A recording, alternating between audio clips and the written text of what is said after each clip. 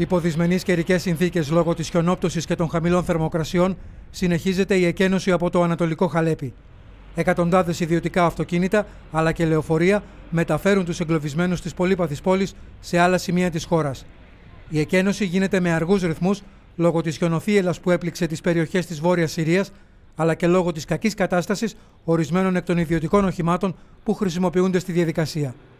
Εκπρόσωπος ομάδας ανταρτών δήλωσε πως υπάρχει ακόμη μεγάλος αριθμός ανθρώπων που παραμένουν στο Ανατολικό Χαλέπι και περιμένουν την αναχώρησή τους από εκεί. Υποστήριξε ότι δεν μπορεί να εκτιμηθεί με ακρίβεια ο αριθμός τους, είπε όμως ότι είναι χιλιάδες άνθρωποι. Σύμφωνα με τα Ηνωμένα Έθνη, από τη στιγμή που επήλθε η συμφωνία για την εκένωση και παρά τις όποιες δυσκολίες έχουν προκύψει, έως τώρα 25.000 εγκλωβισμένοι έχουν εγκαταλείψει τη μαρτυρική πόλη.